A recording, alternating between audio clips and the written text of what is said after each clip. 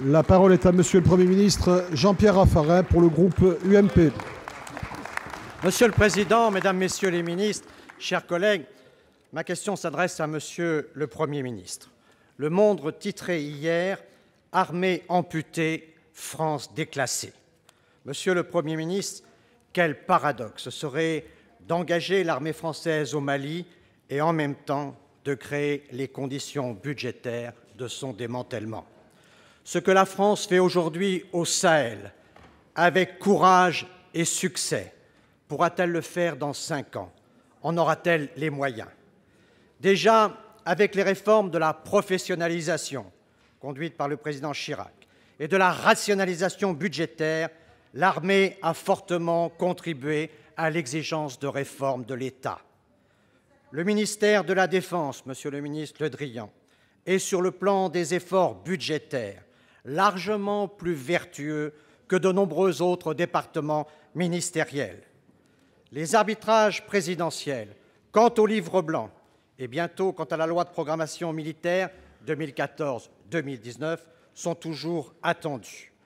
À l'initiative du président de la commission des affaires étrangères et de la défense nationale, notre collègue Jean-Louis Carrère, un large consensus s'est affirmé au Sénat pour demander un plancher des ressources consacrées à la défense fixé à 1,5% du PIB.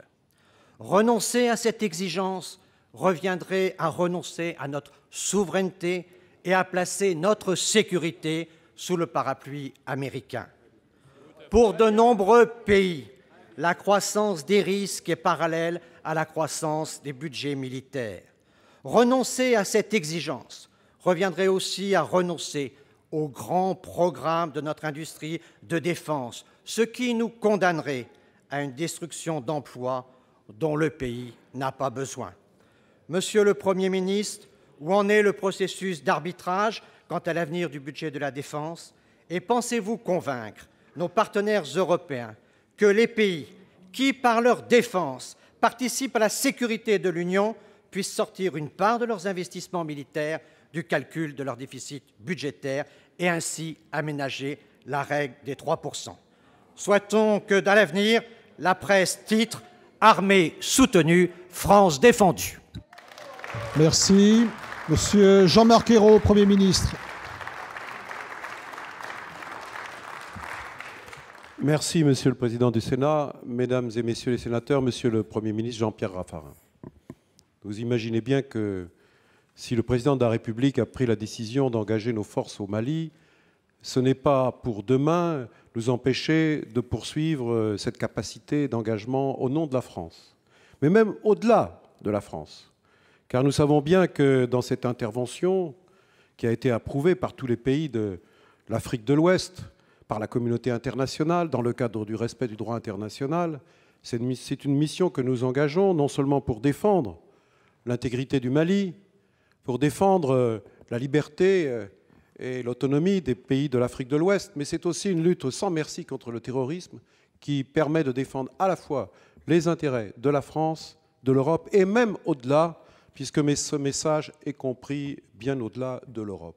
Donc ce n'est pas ce que nous sommes capables de faire aujourd'hui, qui devrait nous conduire à nous empêcher de le faire demain. Et je conclurai, si vous voulez bien, sur cet engagement dans quelques instants. C'est pour ça que le président de la République a engagé un travail qui est celui de la mise à jour du livre blanc sur la défense et sur la sécurité nationale. C'est un travail considérable, d'un grand intérêt, et ce livre blanc sera adopté, mesdames et messieurs les sénateurs, à la fin du mois d'avril mais je souhaite que le Parlement puisse en débattre, que ce soit ici au Sénat ou à l'Assemblée nationale, avant l'été. C'est en tout cas un engagement que je prends devant vous, c'est la moindre des choses. Ce livre blanc présentera les risques, les menaces auxquelles notre pays doit faire face, mais surtout analysera le contexte géopolitique qui est le nôtre et les types d'engagements auxquels nous devons faire face il est bien évident que nous devons continuer à défendre l'intégrité territoriale de la France. Vous avez parlé de souveraineté. C'est la base même de la défense nationale. Mais c'est aussi la prise en compte de risques nouveaux qui sont de plus en plus liés. les risques intérieurs, les risques extérieurs doivent être abordés de la même façon, en tout cas avec la nécessaire cohérence si nous voulons être efficaces. Le président de la République l'a exprimé à plusieurs reprises, et je le redis devant le Sénat. Le modèle d'armée qui découlera de ces travaux sera conforme aux ambitions de la France en Europe et dans le monde. C'est-à-dire, je l'ai rappelé, protéger notre territoire et la population française, préserver nos forces de dissuasion dans ces deux composantes et assurer nos capacités d'intervention seuls ou avec nos alliés. Ce modèle répondra également aux nouveaux enjeux auxquels nous devons faire face, notamment dans le domaine de la cyberdéfense. Nous avons d'importants progrès à faire, comme celui du renseignement, comme celui du transport stratégique. Ce n'est pas, bien sûr, au moment où nous engageons nos forces en Mali, avec un professionnalisme et un engagement que je veux à nouveau saluer, que nous allons baisser la garde. D'ailleurs, je voudrais profiter de cet instant pour remercier à nouveau tous les groupes parlementaires de toutes les sensibilités que j'ai reçues lundi euh, avec le ministre des Affaires étrangères, le ministre de la Défense étant empêché de représenter, parce qu'il est très important qu'en effet, dans ces circonstances, la communauté nationale euh, proclame son rassemblement et son unité, ce que chacun a fait dans le respect de ses différences politiques. Je tiens à nouveau à le faire devant vous, à vous saluer, remercier au nom de la France, mais aussi au nom de nos soldats qui sont aujourd'hui engagés dans une mission particulièrement difficile et dangereuse. Après l'adoption du livre blanc, il y aura la loi de programmation militaire. Elle sera cohérente avec le modèle d'armée que je viens d'évoquer. Elle préservera aussi, et je comprends votre préoccupation, je la partage, l'excellence de notre industrie de défense, dont chacun mesure la nécessité stratégique et la contribution au dynamisme de notre économie. Je vous le dis, franchement, j'ai parfois été surpris, y compris de titres de journaux.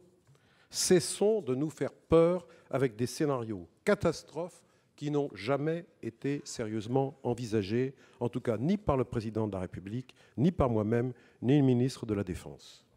Alors vous évoquez un sujet complexe, qui est celui de l'intégration dans le calcul du déficit euh, de chaque pays euh, des dépenses militaires. Je ne dis pas que c'est un faux problème. Je dis simplement que dans ces circonstances, ça serait comme une certaine forme de facilité, en quelque sorte une échappatoire par rapport à nos propres responsabilités.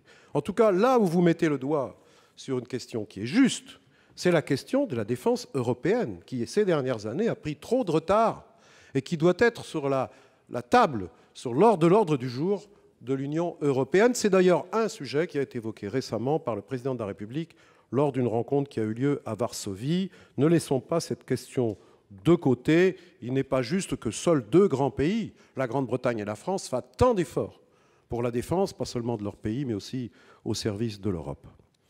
L'autonomie stratégique dépend tout autant de notre modèle d'armée mais aussi de notre capacité à redresser nos finances publiques. Et sur ce point, vous avez évoqué les efforts qui ont été faits par euh, la Défense nationale, nos armées, depuis plusieurs années, et je tiens effectivement à le saluer. Mais cet effort de redressement de nos finances publiques doit se poursuivre, et chaque ministère y prendra sa part. En tout cas, je vous dirais franchement, Monsieur le Premier ministre Jean-Pierre Raffarin, que je suis parfois étonné d'une certaine forme d'injustice à l'égard du gouvernement. Quand on critique nos intentions sans les connaître, alors que si on regarde la loi de programmation militaire précédente, à peine votée, elle a déjà été oubliée. Donc, évitons les fausses querelles, évitons les excès. Ce qui m'importe aujourd'hui, c'est de bâtir le modèle d'armée de demain, cohérent avec le, redressement de notre pays et avec les risques et les menaces auxquels il doit faire face. Je veux que s'instaure sur ce sujet un dialogue serein entre l'ensemble des forces politiques du pays. Je sais, Monsieur le Premier ministre Jean-Pierre Raffarin, l'intérêt que vous portez à ces questions, et votre propos vient une nouvelle fois de le rappeler. Mais je veux vous assurer que nous partageons ce, ce sujet, la même ambition, comme je le dis à l'ensemble des sénateurs, et que la France est une grande nation, et qu'elle continuera à jouer son rôle. J'en prends ici l'engagement. Ce que la France fait au Mali, elle pourra le faire encore dans cinq ans.